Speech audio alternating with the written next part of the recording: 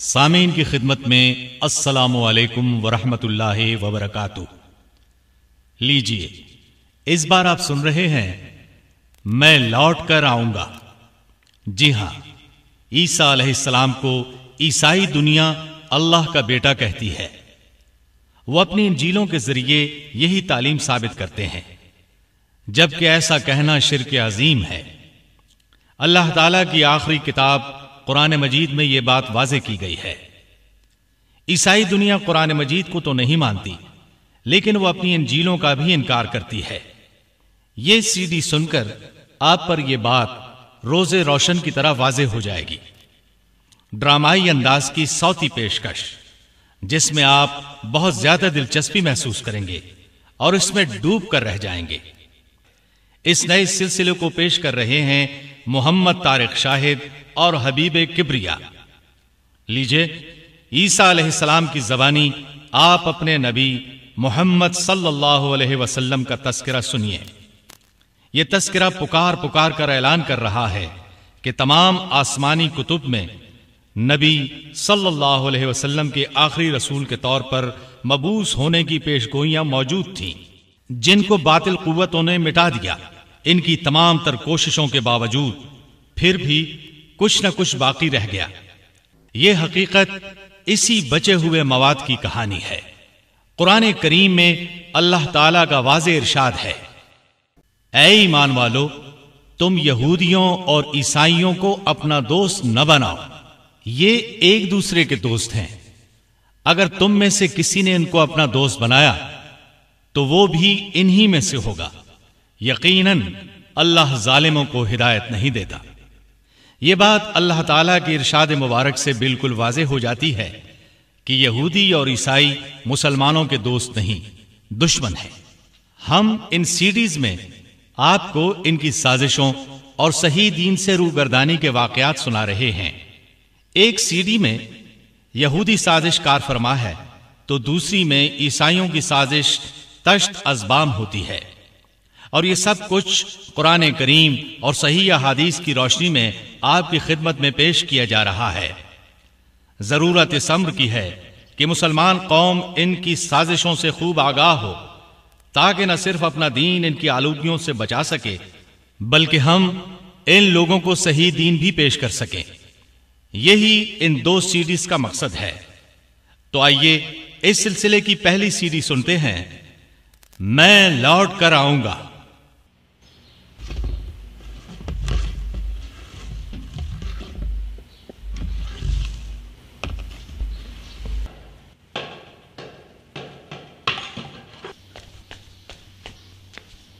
Sir sir, खुदाई के दौरान एक लाइब्रेरी मिली है। बहुत पुरानी। भैया, सारे कदीमा वालों को पुरानी चीज़ें नहीं मिलेंगी तो क्या नई मिलेंगी? और फिर हमने जो दफनशुदा शहर दरियाफ्त किया है, वो शहर भी तो अठारह, उन्नीस सौ साल पुराना है। खैर, ये अच्छी बात है कि इस शहर में एक लाइब्रेरी भी मिल गई है। अब इस शहर के बारे में हम बहुत ज़्यादा मालूम हासिल कर सकेंगे। तुम लोग इन तमाम किताबों को बहुत एहतियात से वहाँ से निकाल लो। किताबें बहुत ज़्यादा बोसीदा होंगी, लेकिन कोई किताब भी जाया ना हो। हो सकता है आज की दुनिया के लिए इस लाइब्रेरी में से कुछ नातिर कुतुब मिल जाए। दूसरे ये कि हमारे मुल्क को इस लाइब्रेरी की दरियाफ्त से शोहरत भी हासिल होगी। मैं थोड़ी देर तक वहाँ आऊँगा और इन कुतुब का जायजा लूँगा। वैसे मेरा ख्याल है पुराने ओलूम और जबानों के माहरीन की खिदमत हमें हासिल करना होंगी। ज़ाहिर है वो कुतुब हमारी जबान उर्दू में तो होंगी नहीं। मैं फ़ोन करके अपने दो एक दोस्तों को बुलाता हूँ। हम्म? वो मुख्तलिफ़ जबानों के माहिर हैं। हमारी मदद करेंगे। बहुत बेहतर प्रोफेसर साहब। उसामा और हमजा वहीं मौजूद हैं। हम तीनों मिलकर ये काम कर लेंगे। आप मुतमिन रहिए। शुक्रिया।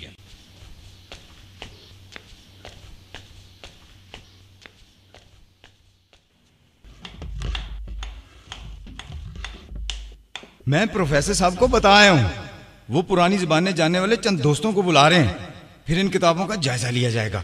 प्रोफेसर साहब का ख्याल है, हमारे हाथ एक नादिर खजाना लगा है। बहुत खूब, माइकल। आओ हमारी मदद करो। किताबें बहुत ज़्यादा वजनी है। दरअसल ये हाथ की तहरीर करते हैं। ऐसा लगता है अट्ठारह उन्नीस सौ साल पहले यहाँ एक पूरा शहर आबाद था। वो लोग पढ़े लिखे थे, लेकिन उस वक्त छापा खाना ईजाद नहीं हुआ था। कुतुब हाथ से लिखी जाती थी।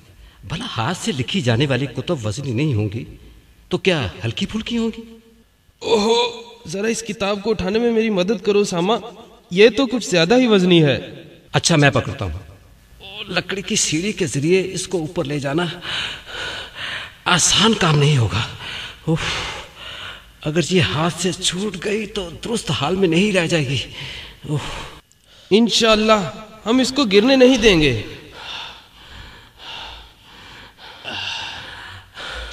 अल्लाह का शुक्र है। हम इसको ऊपर ले ही आए जरा देखो तो सही ये कौन सी जबान में है? माइकल भला तुम कौन कौन सी जबान जानते हो?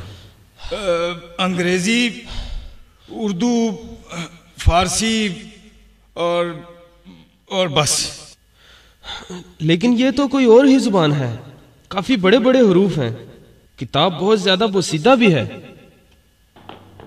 लीजिए। प्रोफेसर आबिद अपने दो दोस्तों के साथ आ रहे हैं। ये ज़रूर पुरानी जबानों के माहिर होंगे।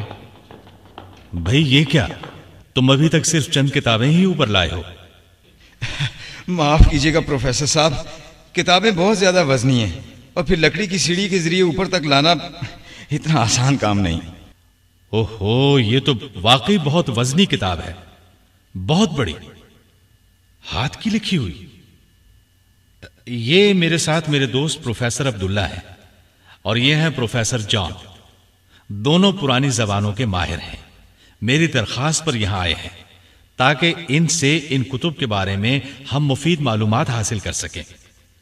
प्रोफेसर साहिबान, आप जरा इन कुतुब को देखिए। हो सकता है हम कुछ नादिर चीज़ें हासिल करने में कामयाब हो जाएँ। इस बात का भी इम्कान है कि पूरी दुनिया इस शहर की दरियाफ्त पर हैरत जदा रह जाए। और चारों तरफ़ से लोग इस शहर को देखने के लिए आए। हमें पहले से तैयारी तो करना होगी। आपका क्या ख्याल है प्रोफेसर अब्दुल्ला? आपने बजा फरमाया। हमारी तरफ़ से आप बेफिक्र रहें। इस काम में आपकी पूरी मदद करेंगे।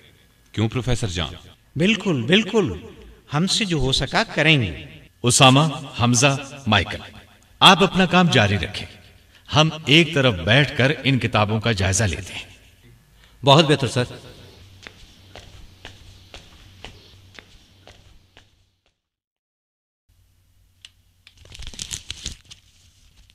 ओहो ये मैं क्या देख रहा हूँ? आप क्या देख रहे हैं प्रोफेसर? क्या नज़र आ गया आपको? ये सबसे बड़ी और वजनी किताब इताली जबान में है। ये जबान 2000 साल पुरानी है। आज दुनिया में इस जबान को जानने वाले बहुत कम लोग होंगे। आपको ये जानकर मसरत होगी कि मैं किसी कदर इताली ज़ुबान जानता हूँ। और आपके बारे में भी मुझे मालूम है आपको भी इताली ज़ुबान आती है। इसमें शक नहीं तब तो काम आसान हो गया। आप दोनों मिलकर इस किताब को किसी हद तक तो पढ़ ही सकेंगे। और हम इस शहर के बारे में दरुस्तरीन मालूम हासिल करने में कामयाब हो जाएँगे। वैसे मेरा ख्याल है, ये 18 या 1900 साल पुराना शहर है और गालिबन जलजले की वजह से ज़मीन में धंस गया था। ताहम जो बातें हमें किताबों से मिलेंगी, वो ज़्यादा काबिल एतमाद होगी। आपने दुरुस्त फरमाया। आप अपना काम करें। हम इस किताब को देखते हैं। जो ही कोई खास बात मालूम हुई आपको आवाज़ दे लेंगे। शुक्रिया। बहुत बहुत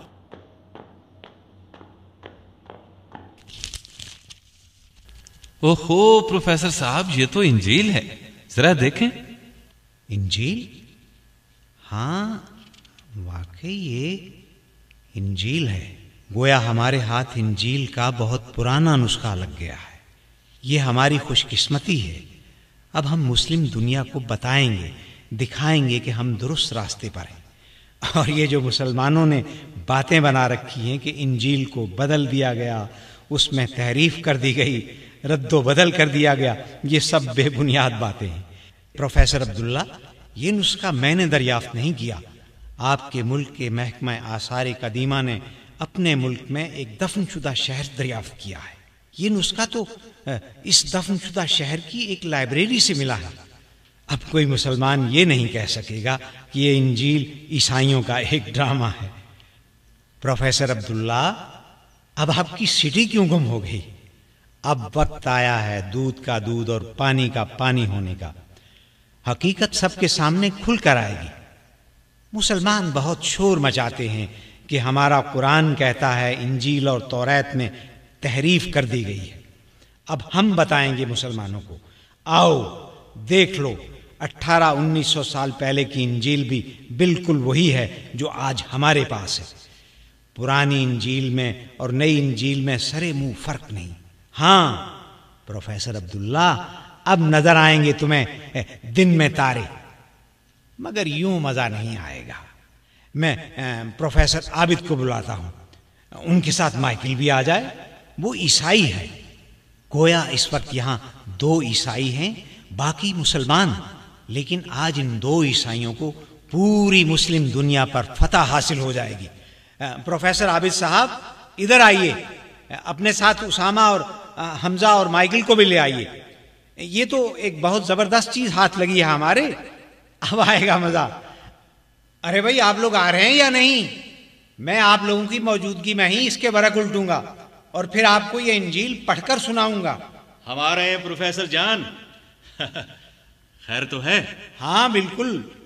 हमारे लिए तो खैर ही खैर है। आपके बारे में कह नहीं सकता। आपका थोड़ी देर बाद क्या हाल होगा? लीजिए हम आ गए। अब बताएँ बात क्या है? ये जो किताब आप देख रहे हैं इताली जबान में है। और मज़े की बात यह है कि मैं भी इताली जबान जानता हूँ और प्रोफेसर अब्दुल्ला भी जानते हैं। अगरचे हमें इस जबान पर उबूर नहीं मगर फिर भी हम तर्जुमा कर सकते हैं। और चौंका देने वाली खबर सुनिए।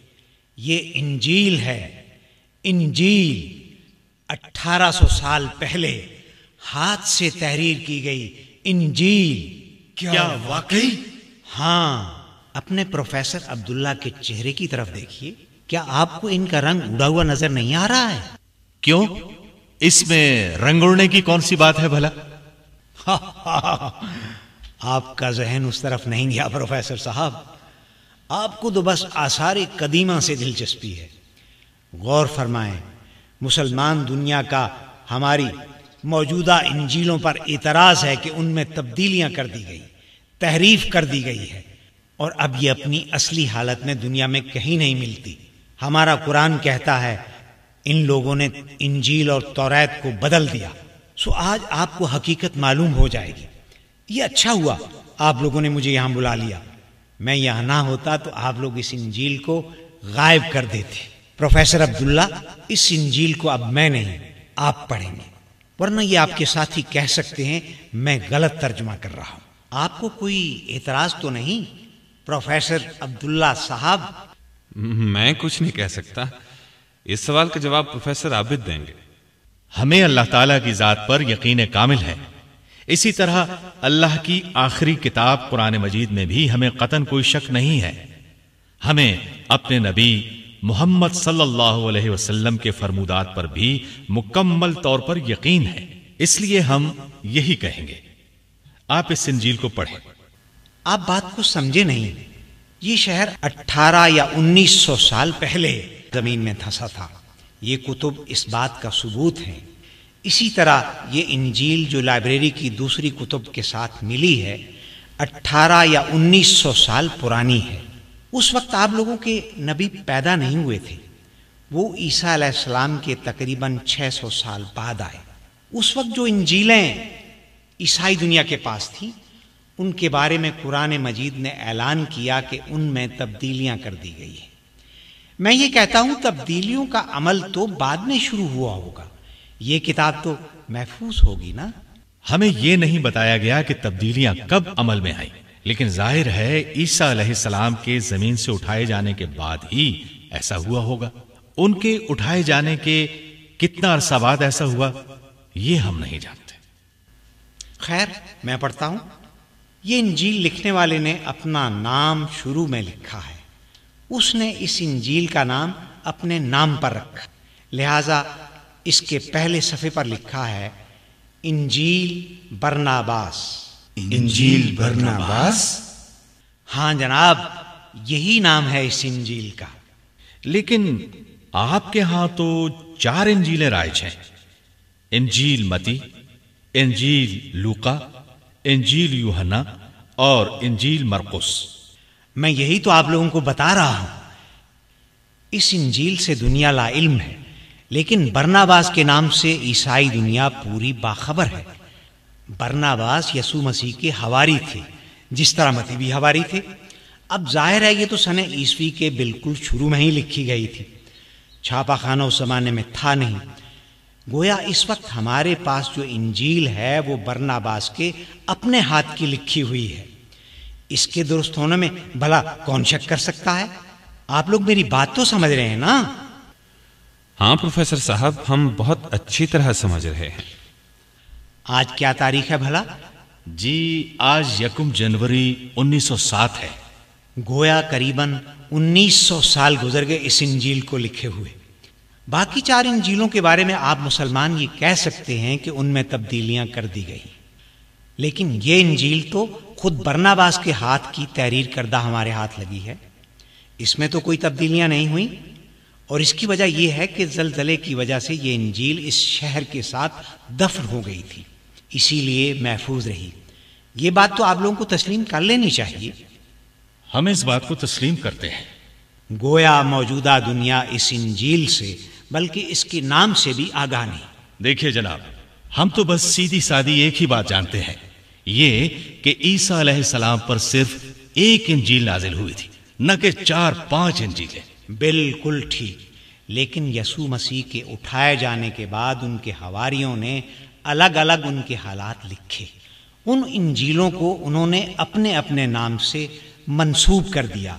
ये है असल वाकया। चलिए खैर अब आप क्या कहते हैं ये फरमाए आज अल्लाह ने इस बात का मौका इनायत फरमा दिया है। कि हम अपने दीन को हक पर साबित कर दें। मुसलमान दुनिया हम पर मुशरक होने का इल्ज़ाम आयद करती है। कहती है, ये लोग ईसा सलाम को अल्लाह का बेटा कहते हैं। और ऐसा कहना शिरक है। सो ये इंजील आज फैसला करेगी कि ईसा सलाम अल्लाह के बेटे हैं या नहीं। इत्तफाक से यहाँ मेरा हम मज़हब माइकल भी मौजूद है। लेकिन बेहतर होता, यहाँ अखबारी दुनिया के कुछ लोग भी होते। क्या ये बेहतर नहीं होगा? प्रोफेसर आबिद साहब, आप उन लोगों को भी बुला लें। हम उस वक्त तक इस इंजील का वर्क नहीं उल्टेंगे। ठीक है। हमें अपने अल्लाह पर, अपने रसूल मोहम्मद सल्लल्लाहु अलैहि वसल्लम पर और अल्लाह की आखिरी किताब कुरान मजीद पर पूरा यकीन है। हमें जर्रा बराबर भी शक नहीं है। और कुरान मजीद तो शुरू ही इन अल्फाज से होता है। ये किताब ऐसी है जिसमें कोई शक नहीं। बस ये बात मैं आपके मुँह से कहलवाना चाहता था। हमें आज वो इंजील मिल गई है जिसमें तहरीफ नहीं हो सकी। आप इस बात से तो इत्तफाक करते हैं ना? हम ये कह सकते हैं कि इस बात का इम्कान है। ताहम सौ फ़ीसद यकीन से ये बात नहीं कह सकते। इसलिए कि इस पर कोई तारीख नहीं है। इससे कोई फ़र्क नहीं पड़ता। बरनाबास हवारी का नाम हमारी इंजीलों में मिलता है। खैर हम आपकी ख्वाहिश ज़रूर पूरी करेंगे। मैं अखबारी नुमाइंदों को बुला लेता हूँ। तब फिर हम उस वक्त तक यहीं मौजूद रहेंगे। ये किताब बंद रहेगी। अच्छी बात है। मैं उनकी तरफ़ आदमी रवाना करता हूँ। लीजिए अखबारी नुमाइंदे आ गए। अब शुरू करें किताब। ऐसे नहीं। पहले सारी सूरत हाल इन लोगों को बताई जाएगी मेरा ख्याल है मेरे आदमियों ने रास्ते में इन्हें बता दिया होगा। इसके बावजूद मैं वजाहत करना पसंद करूँगा। आपकी मर्ज़ी। हमें कोई एतराज़ नहीं। अस्सलाम वालेकुम जनाब। हम अखबारी नुमाइंदे हैं। हमने सुना है इस शहर की खुदाई के दौरान हाथ से तहरीर करदा एक इंजील आप लोगों के हाथ लगी है। हाँ जनाब यही बात है। पहले मैं वजाहत करूँगा। फिर आप लोगों के सामने इंजील पढ़ी जाएगी। ये इताली जबान में है। इत्तफाक से मैं यह जबान जानता हूँ। मैं ईसाई हूँ, जबकि यहाँ प्रोफेसर अब्दुल्ला भी मौजूद हैं। ये मुसलमान हैं और इताली जबान जानते हैं। मुसलमानों का दावा है कि ईसा सलाम अल्लाह के बेटे नहीं, उसके बंदे और रसूल हैं। उन्हें अल्लाह ताला ने आसमान पर उठा लिया था और क़यामत के नज़दीक वो आसमान से नाजिल होंगे। जबकि हम उन्हें अल्लाह का बेटा मानते हैं। अपनी इंजीलों में कोई रद्दो बदल नहीं मानते। आप सूरत हाल समझ रहे हैं ना? जी बिल्कुल। तब फिर नोट फरमा लें। ये इंजील ईसा अलैहिस्सलाम के हवारी बरनाबास ने लिखी थी। मौजूदा चारों इंजीलों के बारे में तो मुसलमान ये कहते हैं कि वो ईसा अलैहिस्सलाम की तालीम के मुताबिक नहीं है। इस इंजील के बारे में तो ये नहीं कहा जा सकता ना? आपकी बात बजा है। तब फिर हम इसका तर्जुमा शुरू करते हैं। किताब मैं शुरू करूँगा। प्रोफेसर अब्दुल्ला किताब पर नज़र रखेंगे। अगर मैं किसी जगह तर्जुमे में गड़बड़ करूँ तो ये फ़ौरन टोक दें। क्या आप ऐसा कर सकेंगे प्रोफेसर अब्दुल्ला? इंशाअल्लाह। मेरी अखबारी नुमाइंदों से दरखास्त है वो इस किताब की इसके और की चंद तस्वीर ले लें। अखबार में खबरों के साथ आप इस तस्वीर को भी शाया कर सकेंगे। आप फ़िक्र ना करें। हम अपना काम साथ साथ करते रहेंगे। हम जरा तैयारी मुकम्मल कर लें। आ, क्या मैं शुरू करूँ और आप लोगों से उम्मीद रखूँ कि रिपोर्टिंग में कोई गड़बड़ नहीं करेंगे? जो इस किताब में लिखा है वही अखबार में शाया करेंगे। आप फ़िक्र ना करें। हम पर आप जानबदारी का इल्ज़ाम नहीं लगा सकेंगे। बहुत खूब बहुत खूब। खुशी हुई आपकी बात सुनकर। आ, ये लीजिए। मैं वरक उलटता हूँ। अब अल्लाह की कुदरत देखिए। शुरू में किताब का मुकदमा लिखा हुआ है। बरनाबास अपने पढ़ने वालों को मुखातिब करके लिख रहे हैं, रूए ज़मीन के तमाम इंसानों की सलामती चाहता हूँ। और ये बात वाजे कर देना चाहता हूँ कि खुदा ने यसु मसीह को भेजकर हमारी खबर गिरी फरमाई। ये उसकी बड़ी मेहरबानी है। यसु मसीह से मुराद ईसा इस्लाम है। हाँ उसामा ये लोग ईसा सलाम को यसु मसीह कहते हैं। क्या हमें इस बात की इजाज़त है कि कोई बात समझ में ना आए तो पूछ लें? ज़रूर क्यों नहीं? हम सब यहाँ बात को समझने ही के लिए तो जमा हुए हैं।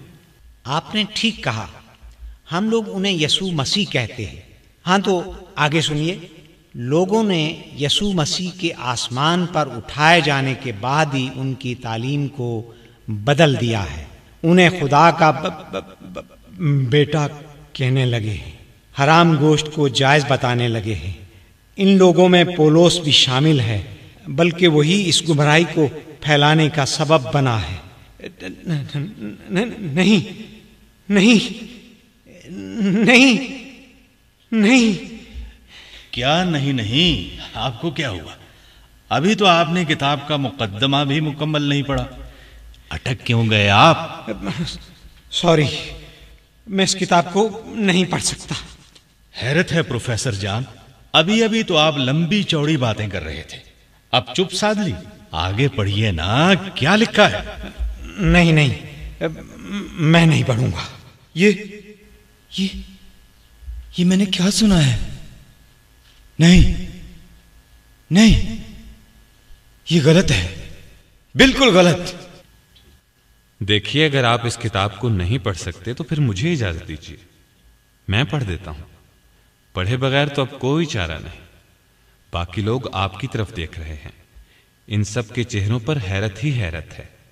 इस कदर तवील बातें करने के बाद आप किताब शुरू करते ही खामोश हो गए। ये लोग क्या ख्याल करेंगे? ये लोग जो ख्याल करते हैं, कर लें। मुझे कोई परवाह नहीं। बस मैं ये किताब नहीं पढ़ूँगा। तब फिर मुझे इजाज़त दें मैं पढ़ देता हूँ। अच्छी बात है आप पढ़ दें। शुक्रिया। आपने इजाज़त तो दी। मैं फिर से शुरू करता हूँ ताकि इबारत में तसलसल रहे। बरनाबास लोगों को मुखातिब करके लिखते हैं रूए ज़मीन के तमाम इंसानों की सलामती चाहता हूँ। और ये बात वाजह कर देना चाहता हूँ कि खुदा ने यसू मसीह को भेजकर हमारी खबरगिरी फरमाई। ये उसकी बड़ी मेहरबानी है। लोगों ने यसु मसीह के आसमान पर उठाए जाने के बाद ही उनकी तालीम को बदल दिया है। उन्हें खुदा का बेटा कहने लगे हैं। हराम गोश्त को जायज़ बताने लगे हैं। इन लोगों में पोलोस भी शामिल है, बल्कि वही गुमराही फैलाने का सबब बना है। उसी ने यह मशहूर किया है कि मसीह खुदा का बेटा है। उसके इस गुमराही फैलाने की वजह ही से ये हक बातें लिखने पर मजबूर हुआ हूँ। मैं बंदगाने खुदा को यह बता देना चाहता हूँ कि मसीह की सही सही तालीम क्या थी, ताकि तुम छुटकारा हासिल कर सको। शैतान तुम्हें गुमराह न कर सके। अगर तुमने वो गुमराही कबूल कर ली, जो पोलोस ने फैलाई है तो फिर तुम हलाक हो जाओगे।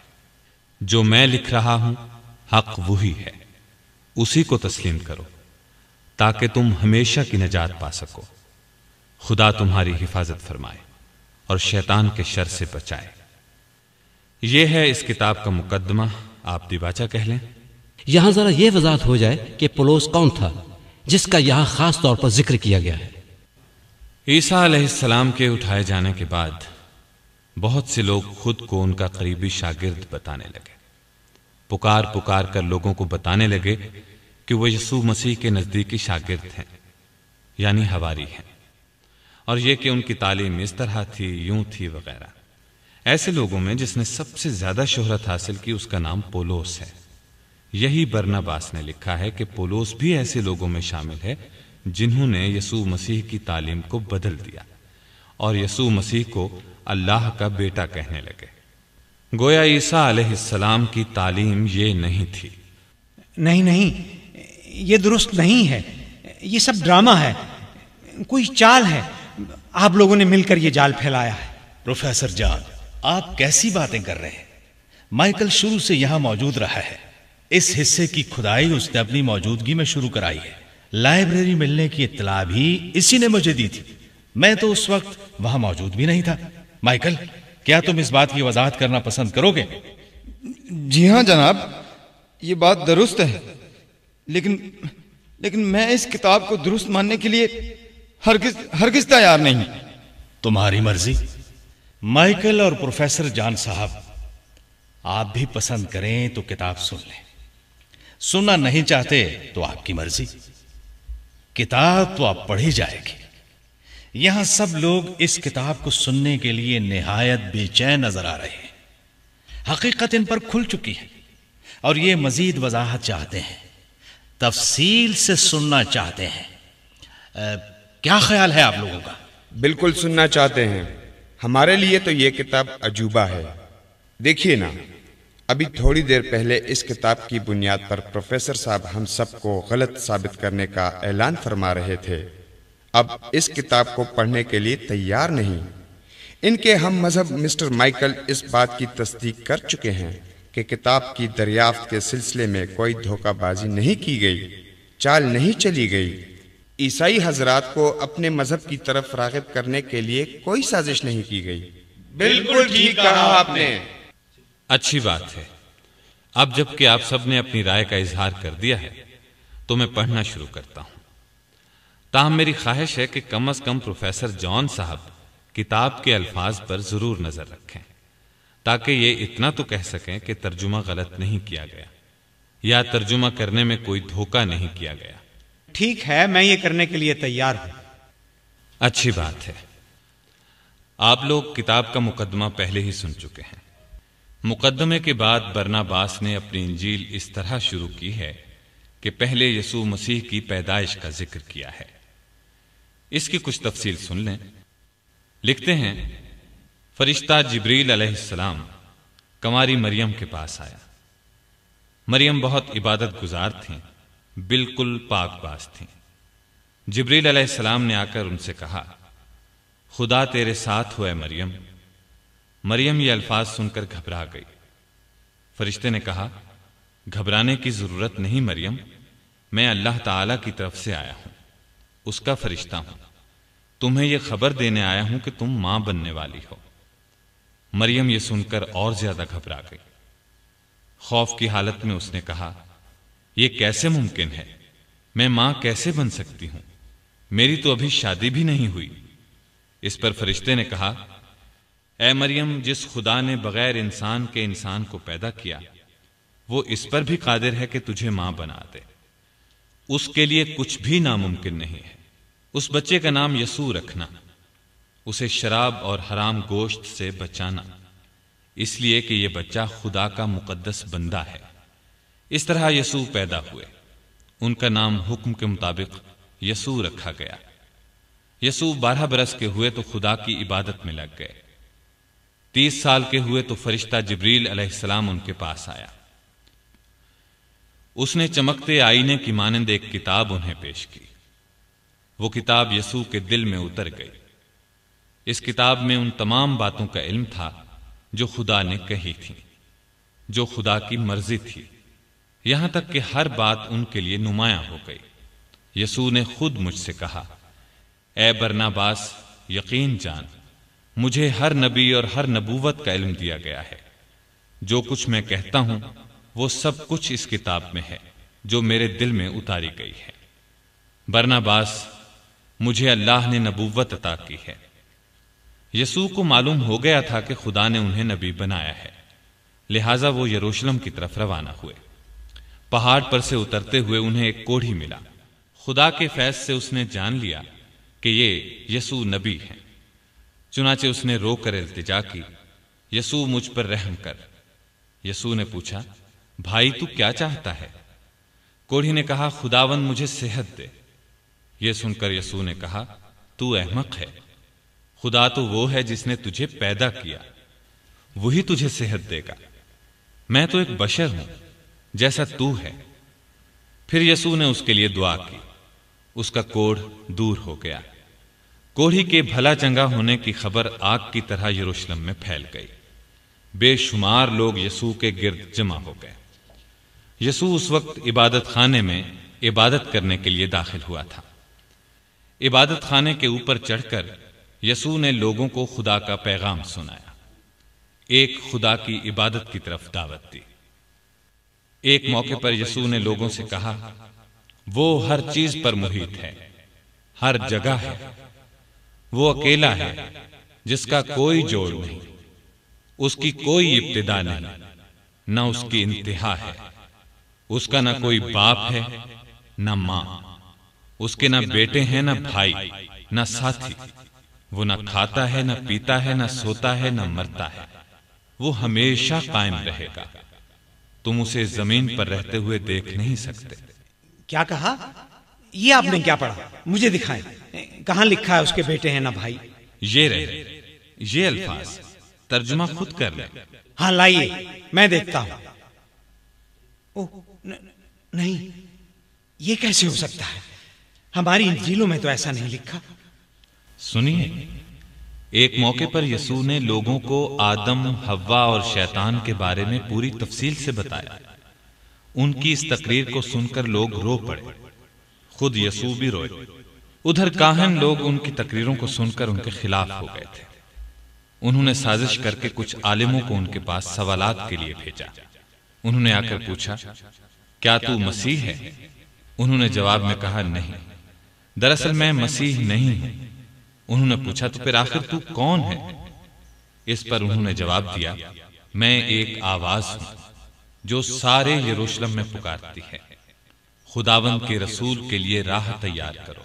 वो मुझसे पहले बनाया गया और मेरे बाद आएगा और सच्चाई का कलाम लाएगा। उसके दीन की कोई इंतहा न होगी। जब वो आएगा, लोगों के लिए नजात और रहमत लाएगा। वो बेदीनों पर ताकत के साथ आएगा। और बुत परस्ती को मिटा देगा और शैतान को नाकाम कर देगा। क्योंकि इब्राहिम अलैहिस्सलाम से खुदा ने वादा किया था कि तेरी नस्ल में मैं बरकत दूँगा। जिस तरह तूने बुतों को पाश पाश किया, उसी तरह तेरी नस्ल भी करेगी। मतलब ये कि वो नबी इब्राहिम अलैहिस्सलाम की औलाद में से होगा। और इब्राहिम को बेटे की कुर्बानी करने का हुक्म हुआ। तो वो इस्माइल को कुर्बान करने के लिए ले गए थे। लिहाजा आने वाला नबी इस्माइल की औलाद से होगा। वो वक्त कितना मुबारक होगा, जब खुदा का वो रसूल सल्लल्लाहु अलैहि वसल्लम आएगा। यकीन जानो, मैंने उसे देखा है, उसकी ताजीम की है, जैसे हर नबी ने उसे देखा है। और जब मैंने उसे देखा तो मेरी रूह को बहुत तस्कीन मिली। मैंने कहा ए मोहम्मद सल्लल्लाहु अलैहि वसल्लम खुदा तेरे साथ हो। क्या कहा? यहाँ मोहम्मद नाम लिखा है। हाँ ये देख लें और मुझे आगे पढ़ने दें। फिर एक रोज यसू ने अपने शागिर्दों से कहा गौर से सुनो काहन मेरे खिलाफ हो गए हैं और मुझे मरवा डालना चाहते हैं। शैतान तुम्हें बहकाना चाहता है लेकिन मैंने खुदा से तुम्हारे लिए दुआ की है। लिहाजा तुम शैतान के बहकावे में ना आओ। हाँ, तुम में से एक ज़रूर आ जाएगा। वो मुझे फंसवाना चाहेगा। और ये बात यसू ने यहूदा के बारे में कही थी। इसलिए कि यहूदा काहिनों के साथ मिल गया था। और इस बात की खबर यसू को जिब्रील अलैहिस्सलाम फरिश्ते के ज़रिए हो गई थी। मैंने दुख भरे अंदाज में यसू से कहा ए उस्ताद, मुझे बता वो कौन है जो तुझे दगा देगा? यसू ने कहा ए बरनाबास, वो खुद ही अपने आप को ज़ाहिर कर देगा, क्योंकि मैं दुनिया से रुखसत हो जाऊँगा. ये सुनकर हवारी रोने लगे। यसू ने उन्हें तसल्ली दी और कहा, तुम घबराओ मत। मैं तो दुनिया में खुदा के रसूल सल्लल्लाहु अलैहि वसल्लम की राह हमवार करने के लिए आया हूँ। खबरदार, धोखा न खाना। बहुत से झूठे पैदा होंगे। जो मेरी इंजील को नापाक करेंगे। क्या कहा? नापाक करेंगे? हाँ प्रोफेसर। मतलब यह कि इंजील को बदल देंगे। इंजील की तालीम कुछ होगी और वो कुछ और तालीम देंगे। और आज आप पर यह बात साबित हो गई। ऐसा हो चुका है। इंजील में खुर्द बुर्द कर दी गई है। अब आगे सुनिए। इस मौके पर हवारी इंद्रियास ने कहा उस्ताद, हमें उसका कोई निशान बता, ताकि हम उसे पहचान लें। जवाब में यसू ने कहा, वो तुम्हारे वक्त में नहीं आएगा, बल्कि कुछ मुद्दत बाद आएगा, जब मेरी इंजील मिटा दी जाएगी। उस वक्त मुश्किल से तीस ईमानदार रह जाएँगे। तब खुदा दुनिया पर रहम फरमाएगा, अपना रसूल सल्लल्लाहु अलैहि वसल्लम भेजेगा। उसके सर पर एक सफ़ेद बादल छाया रहेगा। वो बेदीनों पर बड़ी ताकत से आएगा। ज़मीन पर बुत परस्ती को खत्म कर देगा। उसी के ज़रिए मेरा सच्चा होना मालूम होगा।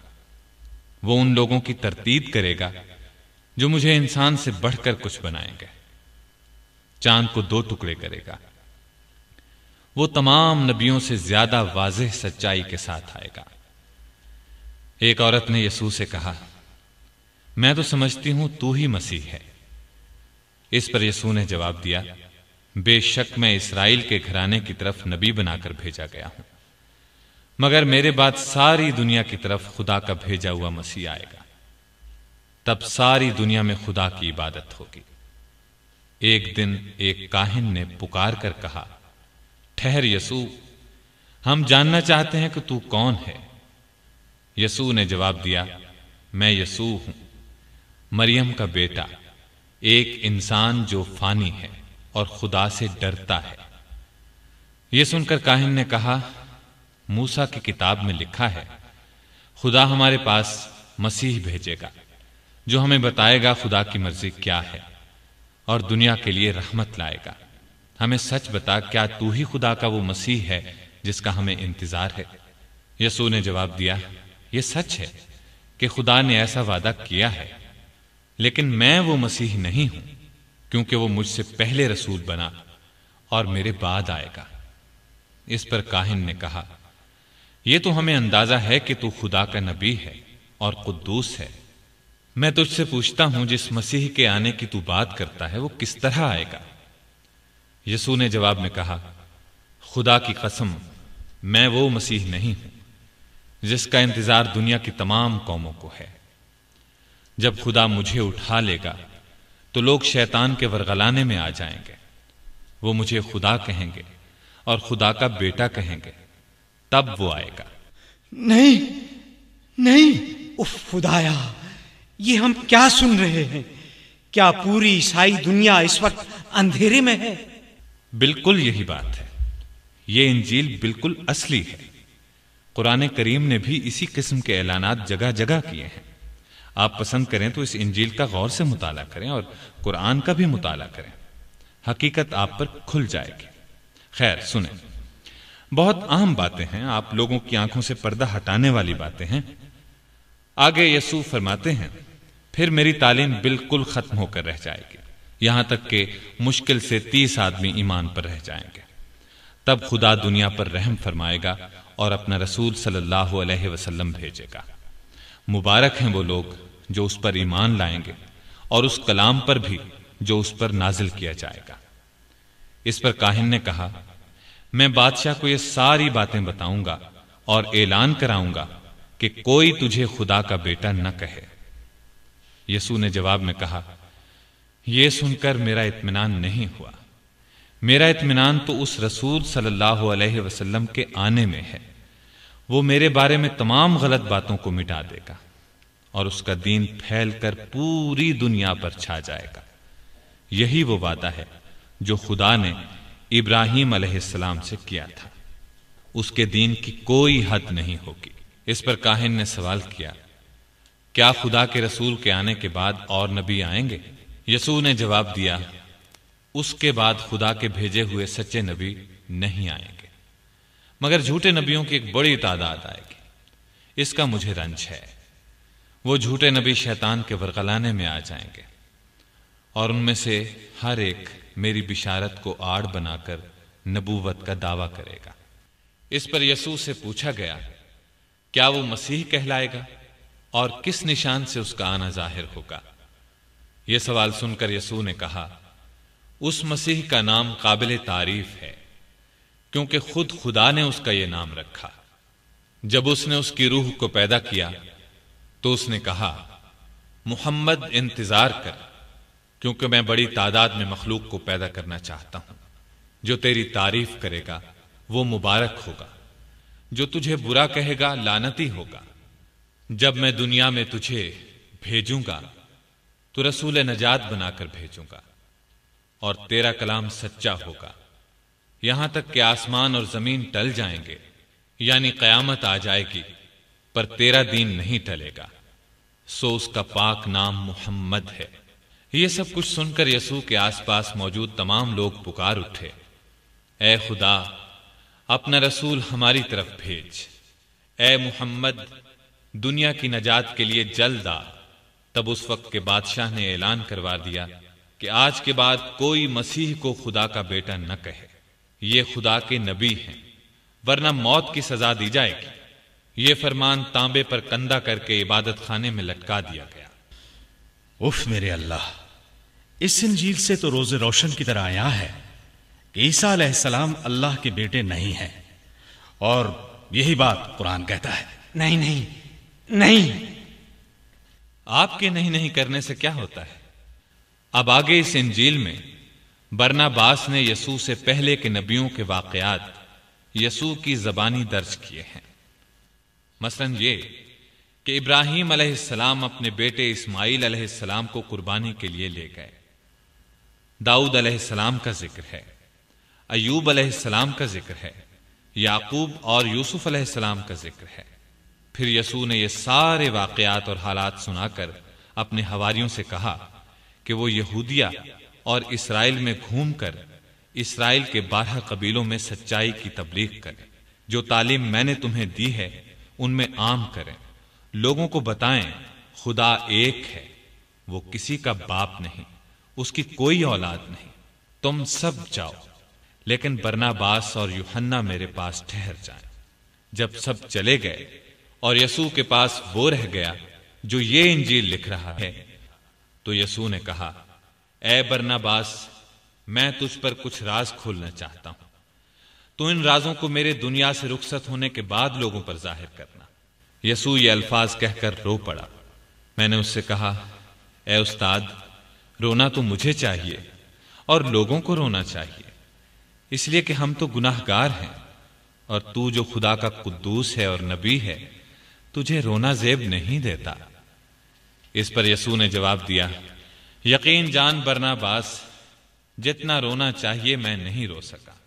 काश वो मुझे खुदा न कहते, खुदा का बेटा न कहते, और मैं उस दिन, यानी कयामत के दिन बेखौफ होता, मेरा रोना बजा है। मैं अपने एक शागिर्द, यानी हवारी के ज़रिए तीस सिक्कों में बेचा जाऊँगा, यानी वो हवारी तीस सिक्के लेकर मेरी मुखबरी करेगा, और जान ले, जो मेरा सौदा करेगा, वही मेरी जगह मारा जाएगा, इसलिए कि खुदा मुझे ज़मीन से उठा लेगा। यानी आसमान पर उठा लेगा और उस गद्दार की शक्ल मेरी शक्ल से बदल देगा। हर कोई उसके बारे में यही ख्याल करेगा कि वो मैं हूँ, वो बुरी मौत मरेगा। फिर जब मोहम्मद खुदा का मुकद्दस रसूल आएगा तो ये बदनामी दूर होगी। यानी वो अपने रब के कलाम के ज़रिए दुनिया को बताएगा कि मसीह इब्ने मरियम को सूली नहीं दी गई, न उसे कत्ल किया गया, बल्कि अल्लाह ने तो उसे आसमान पर उठा लिया। यसू की ये हैरान कुन बातें सुनकर मैंने पूछा है उस्ताद, बता, वो बदबख्त कौन है ताकि मैं उसका गला घूंट डालूं? यसू ने जवाब दिया, खामोश रह, खुदा की यही मर्ज़ी है, उसके खिलाफ हो ही नहीं सकता। लेकिन देख, उस मौके पर मेरी माँ को सदमा पहुंचेगा। लेकिन तू उसे सच्ची बात बता देना। तब मैंने यसू से वादा किया कि मैं ऐसा करूँगा। एक मौके पर यसू ने यह अल्फाज कहे मैं तुमसे सच कहता हूँ, अगर मूसा सलाम की किताब, यानी तौरात से सच्चाई मिटा न दी गई होती, यानी उसमें तब्दीली न कर दी जाती तो खुदा दाऊद सलाम को दूसरी किताब, यानी जबूर न देता, और अगर दाऊद सलाम की किताब में तहरीफ न कर दी जाती तो खुदा मुझे इंजील अता न करता, क्योंकि हमारा खुदा तमाम इंसानों को एक ही पैगाम देता है। सो जब खुदा का रसूल सल्लल्लाहु अलैहि वसल्लम आएगा तो वो ये सब पाक करने आएगा। यानी जिन बातों से बदकारों ने मेरी किताब नापाक कर दी। इस दौरान यसू का हवारी यहूदा, यसू की किसी बात से नाराज़ हो गया। वो सरदार काहिन से जाकर मिला। वहाँ दूसरे काहिन और यसू के मुखालिफ लोग मौजूद थे। यहूदा ने उनसे कहा, तुम मुझे क्या दोगे अगर मैं यसू को तुम्हारे हाथों पकड़वा दूँ? यसू तो बादशाह बन जाने की फ़िक्र में है। सरदार काहिन ने पूछा, भला तू उसे किस तरह पकड़वाएगा? इस पर यहूदा ने कहा, शहर में तो तुम उसे पकड़ नहीं सकते, क्योंकि उसके इर्द गिर्द बेशुमार लोग होते हैं। वो उसके लिए अपनी जान पर खेल जाएँगे। लेकिन जब वो किसी के घर में ठहरेगा तो मैं तुम्हें बता दूँगा कि वो कहाँ है। सरदार काहिन ने जवाब में कहा, अगर तुम उसे हमारे हाथों पकड़वा दोगे तो हम तुझे सोने के तीस सिक्के देंगे। और मैं तुझसे बहुत अच्छा सलूक करूँगा। जब दिन निकला तो यसू लोगों के एक बहुत बड़े मजमे के साथ इबादत खाने में आया। वहाँ सरदार काहिन मौजूद था। उसने तंजिया अंदाज में कहा, ए यसू, क्या तू वो सब भूल गया जिसका तूने इकरार किया था? ये कि ना तू खुदा है, ना खुदा का बेटा, और ना वो मसीह जो सबसे आखिर में आएगा? यसू ने फ़ौरन जवाब दिया, नहीं, मैं तो नहीं भूला। ये तो वो बातें हैं जो मैं कयामत के दिन भी खुदा के तख्त के सामने कहूँगा। खुदा तन्हा हमारा खालिक है। मैं खुदा का खादिम हूँ और खुदा के रसूल की खिदमत करना चाहता हूँ। सरदार काहिन बोला, क्या तू इसराइल का बादशाह बनना चाहता है जो अपने साथ इतने हुजूम को लिए फिरता है? यसू ने जवाब में कहा, मैं बादशाह नहीं बनना चाहता। अगर चाहता तो ये मेरे लिए कुछ मुश्किल नहीं था। सरदार काहन बोला हम तो यही जानते हैं कि तू जादूगर है। शैतान तुझ पर सवार है। तू सरदार काहिन का लिहाज नहीं करता। यसू ने जवाब दिया, शैतान मुझ पर सवार नहीं। मैं तो लोगों को शैतान से बचाना चाहता हूँ। इसीलिए तो शैतान मेरे खिलाफ है, और शैतान मेरे खिलाफ दुनिया को उकसा रहा है। मैं तो चाहता हूँ खुदा की इबादत हो। सरदार काहिन यह सुनकर गजबनाक हो गया और चीख उठा, आओ इस बदअकीदा शख्स को संसार करें। इस पर उन लोगों ने पत्थर उठा लिए। लेकिन यसू उनकी नज़रों से अचानक गायब हो गया और इबादत खाने से निकल गया। यानी वो निकलते वक्त किसी को भी नज़र ना आया और उनके फेंके हुए पत्थर आपस में उन्हीं को लगे। इस तरह इन पत्थरों से हज़ार के करीब आदमी वहाँ मारे गए। यसू के हवारियों को वो जाता हुआ नज़र आ गया था। लिहाजा वो भी निकलकर उस तक पहुँच गए। उस वक्त एक हवारी वहाँ आया और यसू से बोला, आका, नाले के पार मेरा एक बाग है, उसमें एक घर है, सो मैं तेरी मिन्नत करता हूँ, अपने कुछ शागिर्दों के साथ वहाँ चल, ताकि तू इन काहिनों की दुश्मनी से बच सके। मैं सबकी खिदमत करूँगा। यसू ने उसकी बात मान ली और उस घर में चला गया। उधर सरदार काहिन ने लोगों को यह कहकर और भड़काया, देखा अगर वो जादूगर नहीं तो यकायक गायब कैसे हो गया? उसकी वजह से कितने लोग मारे गए? इबादत खाना नापाक हो गया। उसकी तकरीर सुनकर बहुत से लोग यसू के खिलाफ हो गए। जब हालात यसू के खिलाफ हो गए तो सरदार काहिन हाकिम के पास चला गया और उससे कहा, यसू इसराइल का बादशाह बनना चाहता है। हाकिम ने सरदार काहिन से कहा, उसको तलाश करो। जब मालूम हो जाए कि वो कहाँ है तो हमें इत्तला करना। हम तुझे सिपाही देंगे। इस तरह सारे यरूशलेम में यसू की आम तलाश हुई। उन हालात की इत्तला खुदा ने यसू को दे दी। उसने अपने हवारियों से कहा, अब वो घड़ी आ पहुँची जब मुझे दुनिया से रुखसत होना है। गमगीन होने की ज़रूरत नहीं, क्योंकि जहाँ मैं जाता हूँ, वहाँ कोई दुख नहीं होगा। फिर उसने अपने हवारियों के लिए दुआ की और कहा, ए खुदा उस पर लानत हो जो मेरी इंजील को नापाक करे, और उस पर भी लानत हो जो मुझे तेरा बेटा कहे, क्योंकि मैं मिट्टी और खाक, तेरा खादिम हूँ, और मैंने कभी भी ख्याल नहीं किया कि मैं तेरा अच्छा खादिम हूँ। खुदाया, आपने इस खादिम को अदालत के दिन अपने रसूल सल्लल्लाहु अलैहि वसल्लम की जमात में होने की सादत नसीब फरमा, और अपना आखिरी रसूल जल्द भेज, ताकि शैतान नाकाम हो। ये अल्फाज कहकर यसू तीन बार पुकारा, ऐसा ही हो, ऐसा ही हो, ऐसा ही हो ए अजीम और रहीम खुदा। सब हवारियों ने रोते हुए कहा, ऐसा ही हो। लेकिन यहूदा ने यह अल्फाज न कहे, इसलिए कि उसमें ईमान ही नहीं था। यसू ने इस मौके पर कहा, मैं तुमसे सच कहता हूँ, तुम में से एक मुझे ज़रूर पकड़वाएगा, लेकिन वो खुद उस गढ़े में गिरेगा, जो उसने मेरे लिए तैयार किया होगा। इस पर शागिर्द बोले, वो गद्दार कौन है? लेकिन यसू ने उसका नाम न बताया। फिर यहूदा वहाँ से निकल गया। उस वक्त यसू ने कहा, जो तुझे करना है, कर ले। उसके जाने के बाद यसू नमाज़ में मशगूल हो गया। उधर यहूदा सरदार काहिन के पास गया और उससे कहा, आज रात में यसू को पकड़वा सकता हूँ। अगर तुम मुझे तीस सोने के सिक्के दो, वो अपने ग्यारह साथियों के साथ अकेला है। सरदार काहिन ने फ़ौरन उसे रकम गिन दी, फिर अपना एक आदमी हाकिम के पास भेजा। उसने फ़ौरन सिपाहियों का एक दस्ता साथ कर दिया।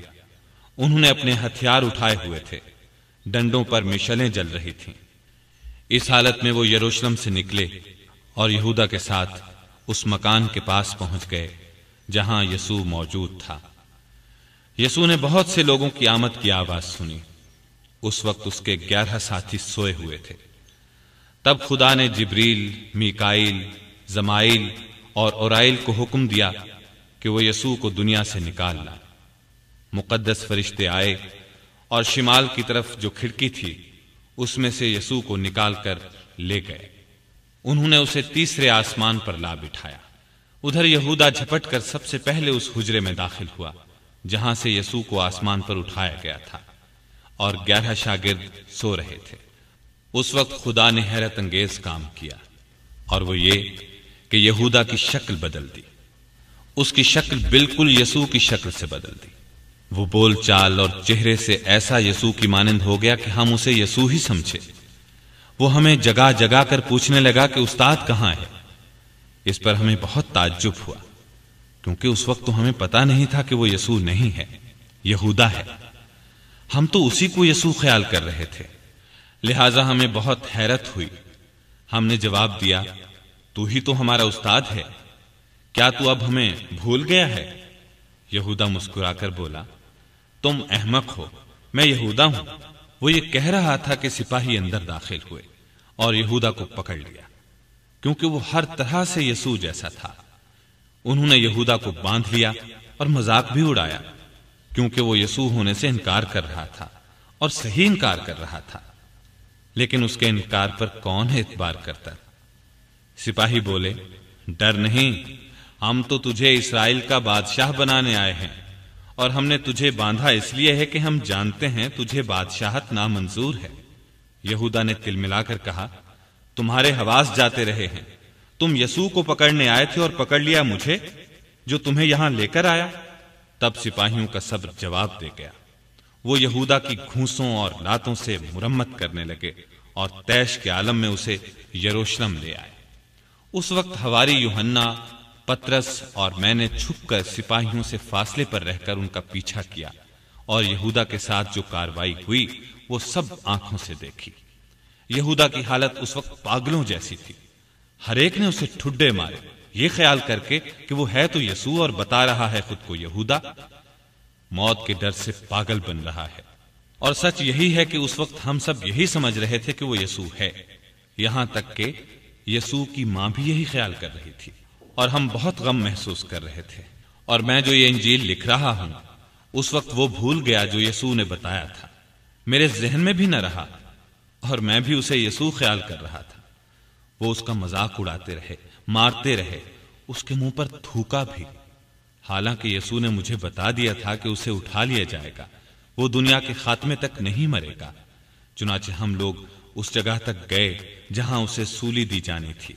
उस जगह का नाम कोहे कानबूस था। वहाँ मुजरिमों को सूली दी जाती थी। यहूदा को जब सूली दी जाने लगी तो वो चीखा, खुदाया, तूने मुझे क्यों छोड़ दिया? मुजरिम तो बच निकला और मैं बेगुनाह मरता हूँ, और मैं सच कहता हूँ। यहूदा का डील डॉल, चेहरा मोहरा यसू से इतना मिलता जुलता था कि सब उसे यसू समझ रहे थे। इसलिए बाज लोग यसू की तालीम से फिर गए। ये ख्याल करके कि यसू झूठा नबी था और उसने जो मोजे दिखाए थे, वो जादू के हुनर से दिखाए थे। क्योंकि यसू ने तो कहा था, वो दुनिया के खात्मे से पहले नहीं मरेगा। तब तो फिर उस वक्त उसे दुनिया से उठा लिया जाना चाहिए था। और जो यसू की तालीम पर जमे रहे वो गम में इस कदर घबरा गए कि उसे मरते देखकर यसू की बात याद न रख सके और बराबर रोते रहे। यहाँ तक कि यहूदा को सूली दे दी गई। उसकी लाश को सलीब से उतार कर कब्र में दफन कर दिया गया। और मैं जो ये इंजील लिख रहा हूँ, योहन्ना उसके भाई याकूब और यसू की माँ के साथ वहाँ से चला आया। जो शागिर्द खुदा से नहीं डरते थे, वो यहूदा की लाश को चुरा कर ले आए और उसको छुपा कर मशहूर कर दिया कि यसू फिर से जी उठा है। उधर आसमान पर यसू ने खुदा से दुआ की कि उसे अपनी माँ और शागिर्दों को देखने की ताकत अता कर।